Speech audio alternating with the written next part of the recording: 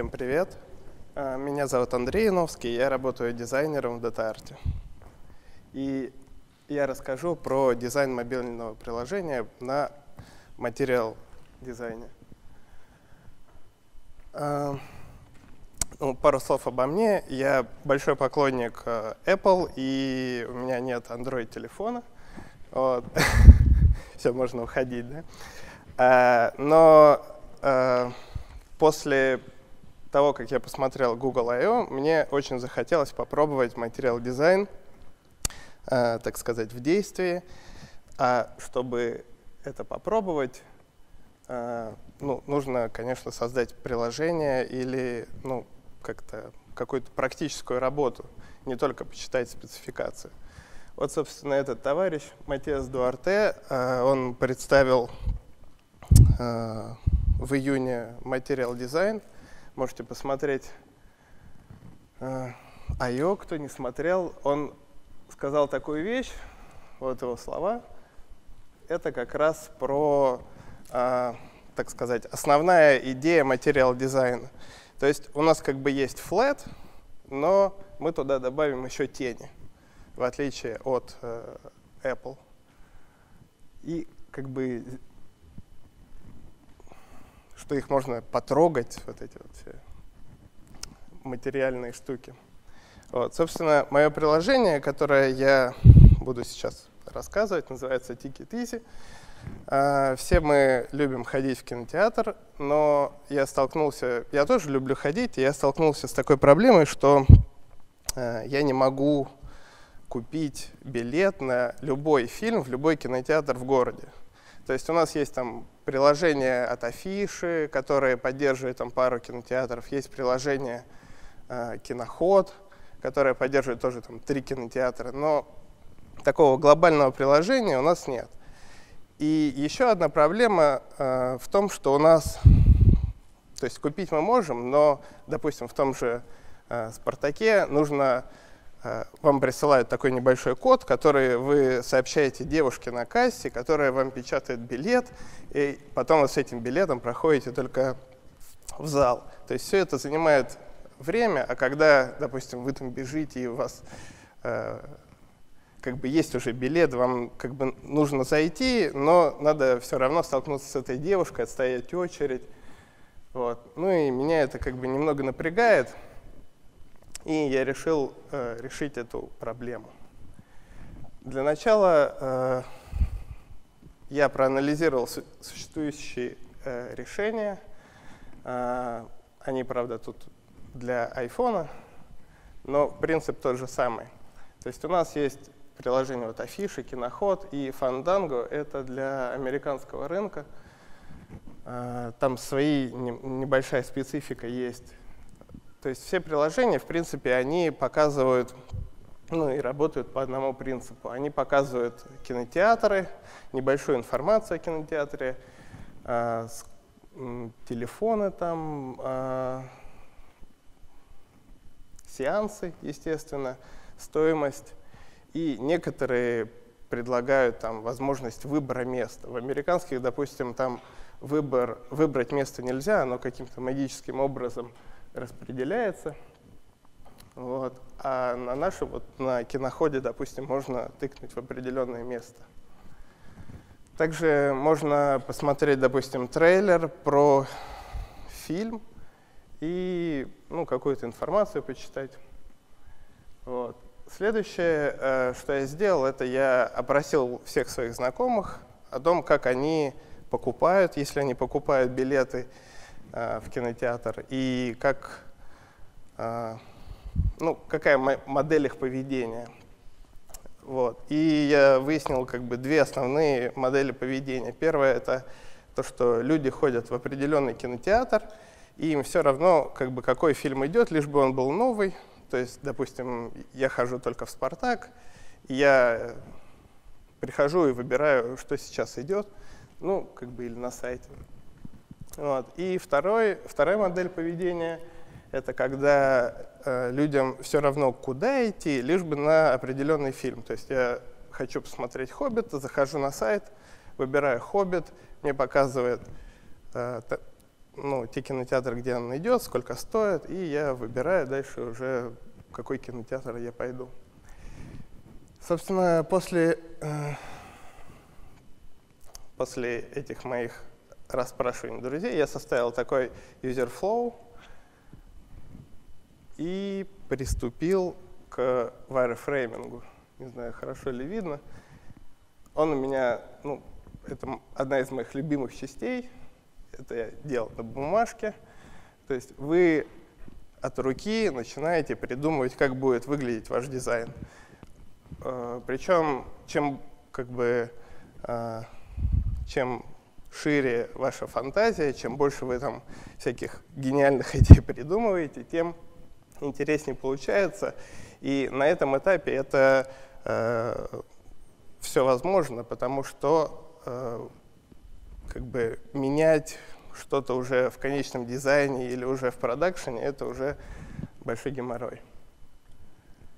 А, собственно, после вайрфрейминга я перевел все то же самое в прототипы на Акшуре, а, сделал кликабельные прототипы и а, дал попробовать своим коллегам, а, ну, как бы попробовать заказать фильм, заказать билет. Вот. Некоторые, ну, это как бы такое предтестирование и помогает выявить, допустим, некоторые мои коллеги говорили, что у меня вот на предыдущем экране видно, что прежде чем пользоваться, нужно залогиниться. Но на самом деле, э, как бы зачем логиниться? Нужно дать пользователю попробовать ваше приложение, и потом уже перед покупкой, допустим, предлагать залогиниться. То есть я потом э, в итоговом дизайне убрал это на самый конец, конечный шаг. И, собственно, сам процесс дизайна.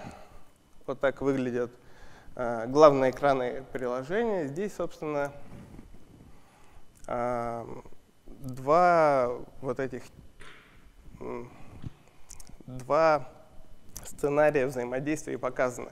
Когда у нас есть список кинотеатров и когда э, у нас есть список фильмов вот по центру и еще куда же без промоушена, запихнул его в третью этап. Вот. Дальше э, мы можем посмотреть, это информационная страница о кинотеатре и о фильме. Тут э, э, floating button э, есть, э, кинотеатр, можно добавить его favorite, чтобы он у вас он выводился в, пред, ну, в самом начале. И э, в кинотеатре указаны все фильмы, которые сейчас идут. Можно проскроллить вправо-лево, э, там, в зависимости от таймлайна.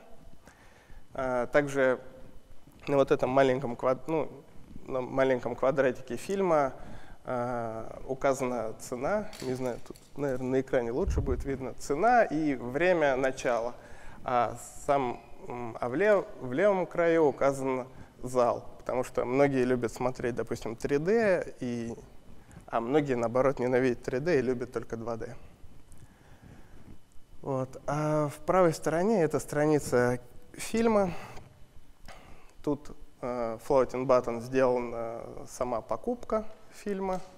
Покупка из страницы кинотеатра ну, при нажатии на определенное время.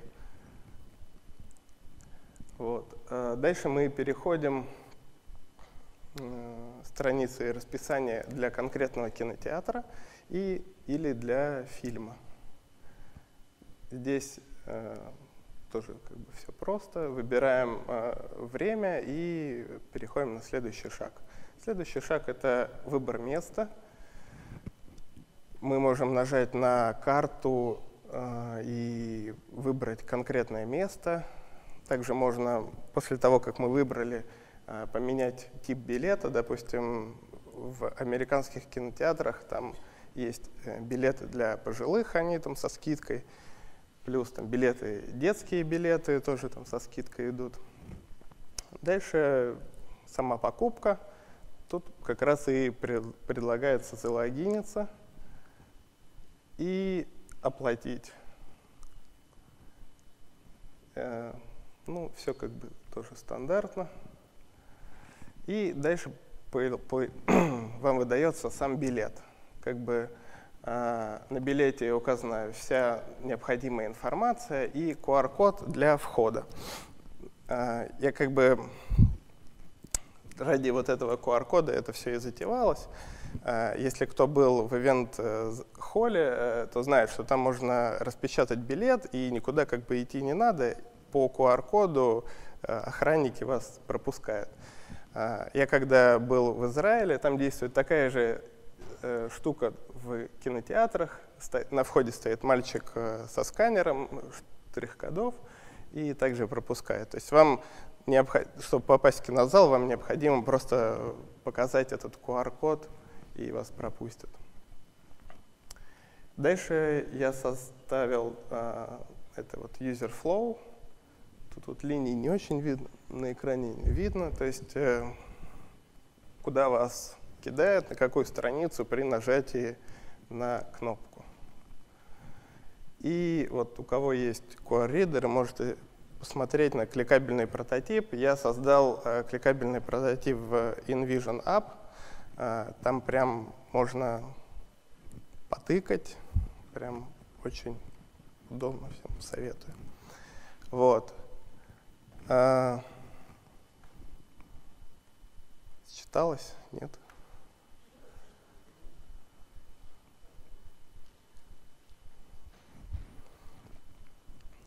Вот, всем советую InVision App. Очень мощное приложение, очень простое, бесплатное, э, первый э, проект, э, плюс там за небольшие деньги другие проекты, причем проекты можно регистрировать сколько угодно, там, создали новый email, зарегали новый проект и дальше пошли.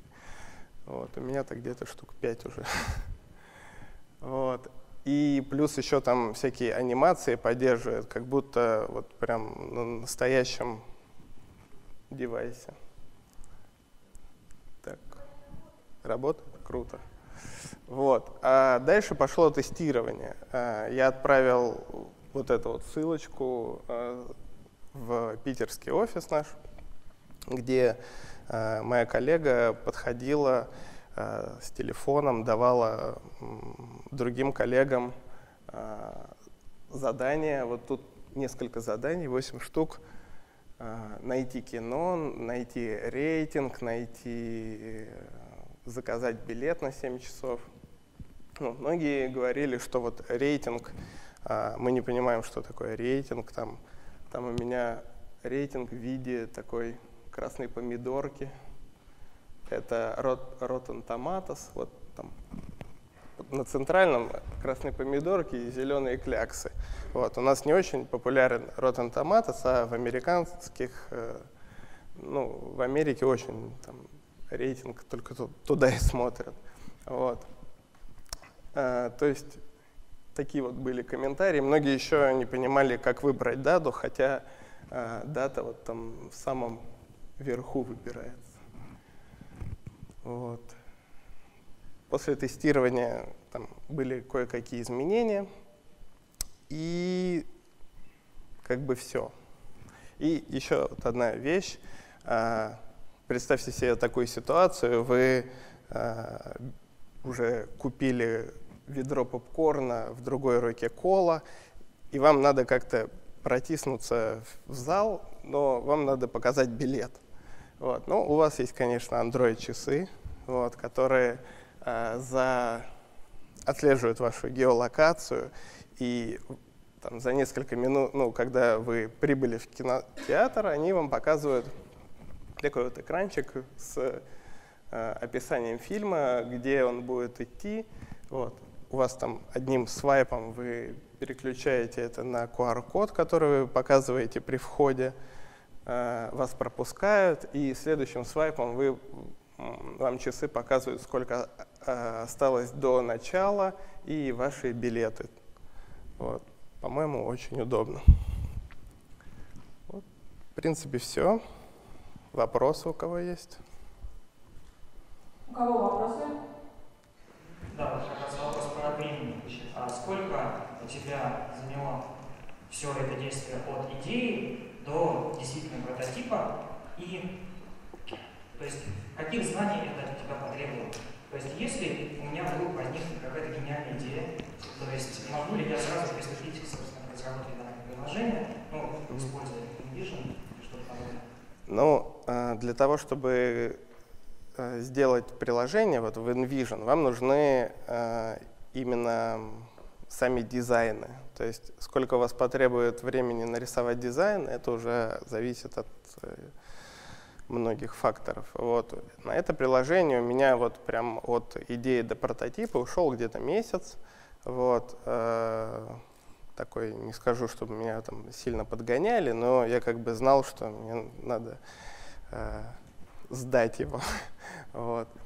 э, рисовал я все в скетч. Тогда э, Google еще не, не сделал э, темплейты для всех вот этих вот карточек, там, всех элементов. Вот. Были, по-моему, только для иллюстратора, вот, но я с ним не очень дружу, и я хотел нарисовать в скетче.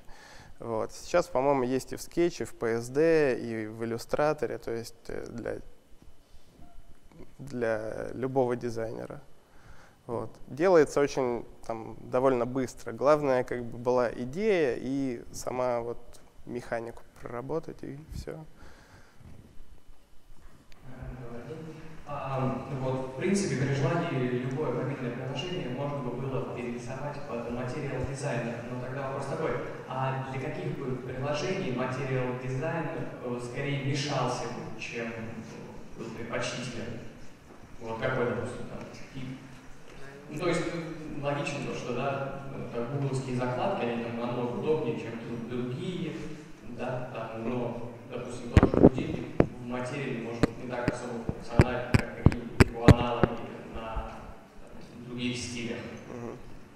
То есть какие, ну, вид, честно... какой вид приложения почтительнее для материал дизайна, а какой нет? То есть для пользователя, в принципе, Я понял вопрос. Ну, честно говоря, не знаю. Мне, э, я вот смотрю на текущие редизайны, то есть после вот этого представления материал э, дизайна все бросились делать, все дизайнеры бросились делать э, дизайны на материал дизайне. Вот, весь дрибл был до сих пор пестрит этими редизайнами существующих приложений.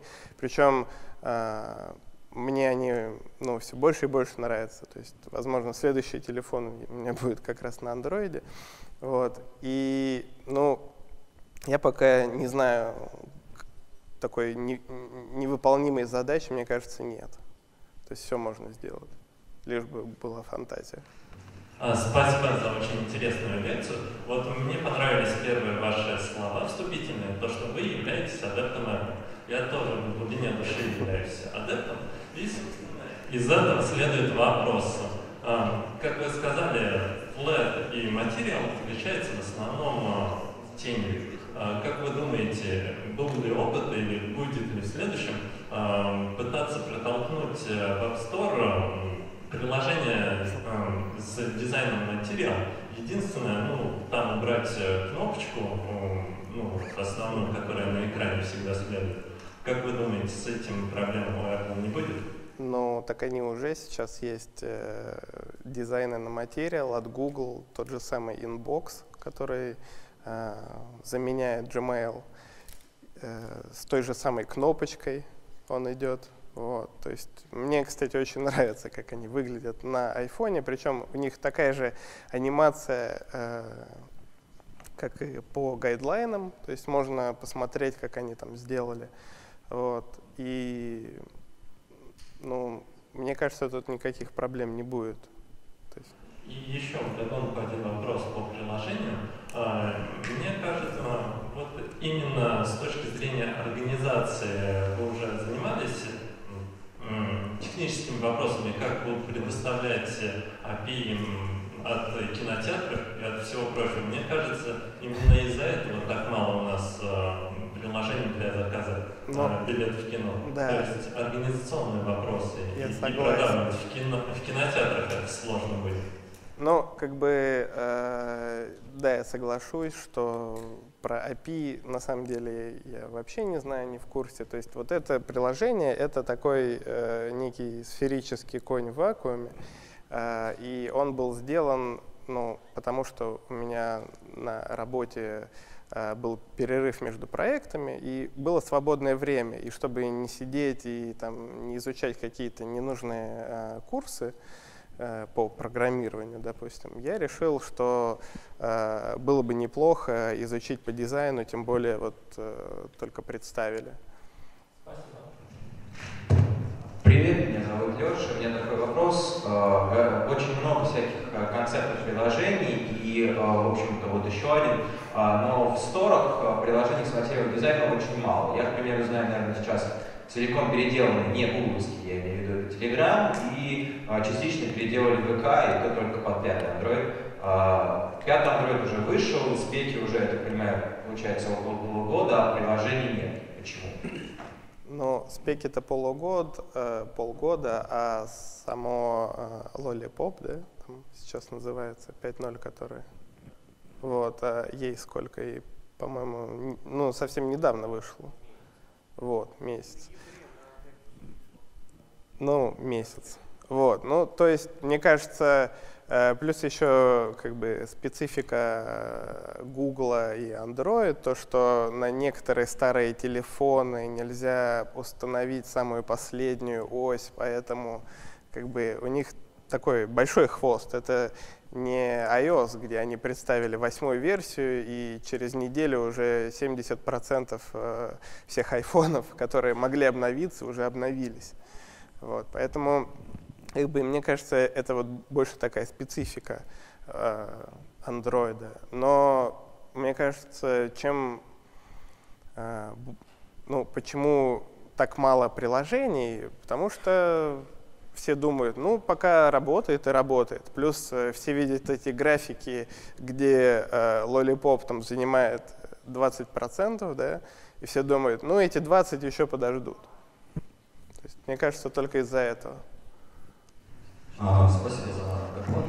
А у меня такой вопрос со стороны пользователя. А, при помощи вот этого QR-кода я смогу купить а, один билет и показать, либо я смогу купить пачку билетов на группу и показать но, ну, как бы я не стал там делать все возможные кейсы, и чтобы там можно было выбрать э, один билет, у тебя там появлялась э, одна картинка, выбрать два билета, появлялась другая картинка. То есть можно сделать сколь угодно, то есть это просто JPEG.